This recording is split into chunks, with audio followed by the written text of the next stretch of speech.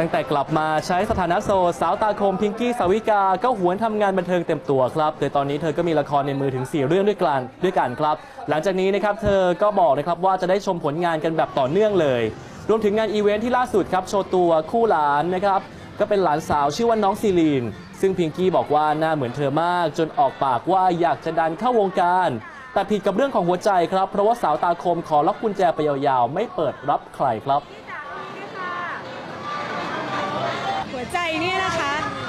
ล็อกตายเลยค่ะตอนนี้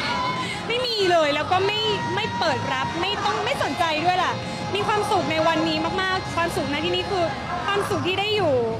อยู่กับคุณแม่อยู่กับหลานทุกอย่างมันมีความสุขแล้วเราก็เป็นเป็นวัยที่เราเราค่อนข้างต้องทำงานนะคะ แล้วก็ต้องทำงานอีกอีกไกลเลยอะอีกถึงจนถึง40 เลยประมาณนั้นไม่มีใครเข้ามาจีบแล้วก็ไม่ให้ใครจีบด้วย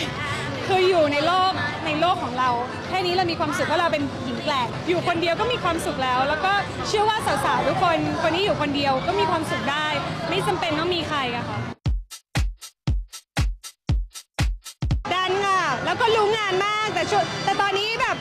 ช่วงเวลาเขามีแค่ประมาณ2อสชั่วโมงเขาจะพอแค่นั้นค่ะเขาเป็นซุปตาอยู่ตอนนี้ ก็ก็เขาเรียกว่าพาหลานมา